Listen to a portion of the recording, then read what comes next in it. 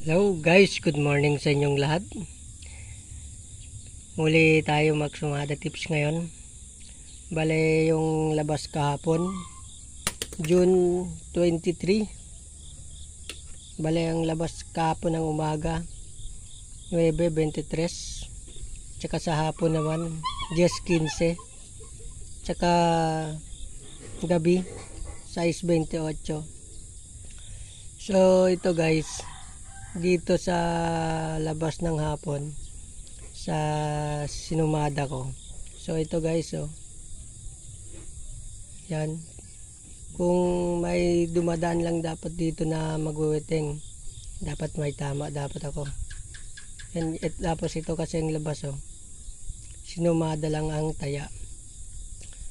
So ngayon guys susumada natin to dito sa 9.23 tsaka sa hapon susumadahan din natin to. Tapos tsaka sa gabi susumada natin. Para ngayon ang para ngayon umaga ang taya pang alas 11 siguro naman ata maraming tumama dito sa sumada.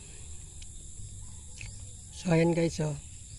Yung labas lang di, yung labas, labas dito gabi size 28 sinumada lang sa 15 tsaka dito sa 10 sinumada. Yan no?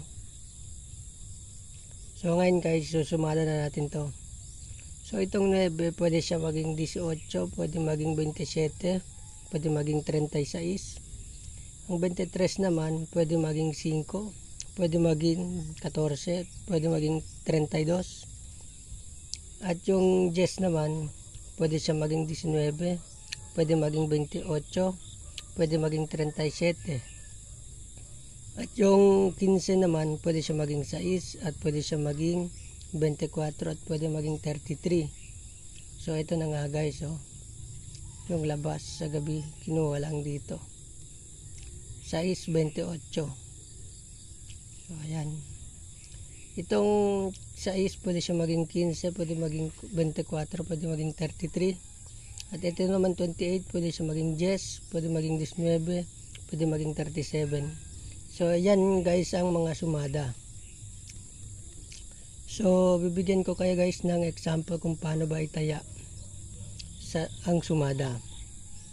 So, ito guys, pwede siya maging 5, 18. 5, 18. At 14, 18. Yan, 14, 18 at pwede nyo rin itaya 14.27 yan 14.27 sumada rin dito yan. At ito 5.27 5.27 sumada pa rin yan. Tapos dito naman guys sa size 28 ito na nga labas gabi. Sayang kung may dumadaan lang dito mag-waiting di, di lang ako nakataya kasi walang dumadaan na gumiting hindi ko naaabutan so ito ang sumada guys. Pwede siya maging 24 19 24 19 at 24 28 so ito. So ngayon susumadahan naman natin dito pwede natin itaya 24 19 so ayan. At 5 24 itong 5 guys kukuha tayo dito sa tatapatan. Tsaka dito. Kaya 5 24 kuha tayo dito. Ito at tsaka ito.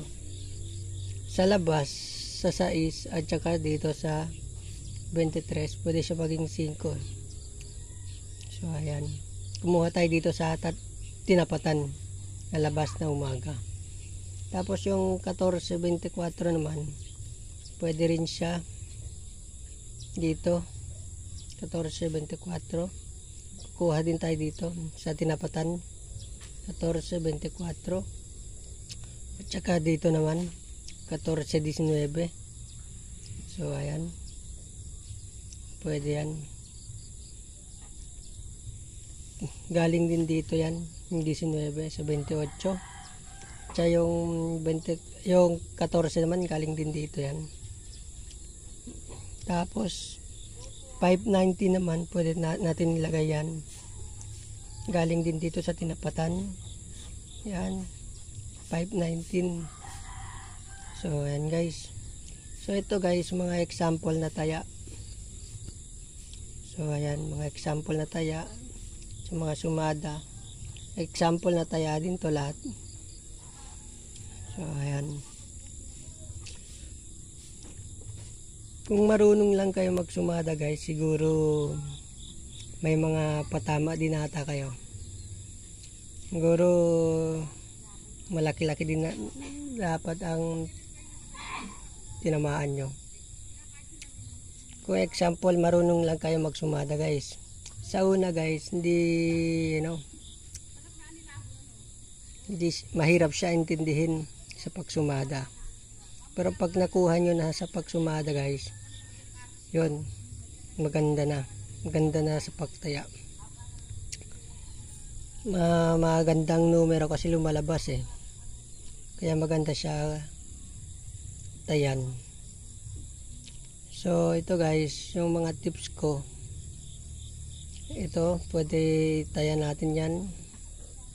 Yan, yan lahat yan. So, ngayon guys dito, ito yon sumada tips sa Laguna guys. Sa Laguna.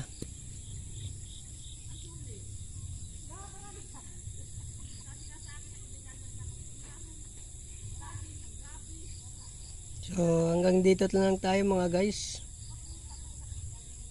Thanks for watching. Sana may makuha kayong idea kung paano ba itaya sa wetting at sa STL. Itong labas guys, dito yan sa Laguna. Inulit ko lang ulit guys kay para malaman nyo. So, ayan. Bye.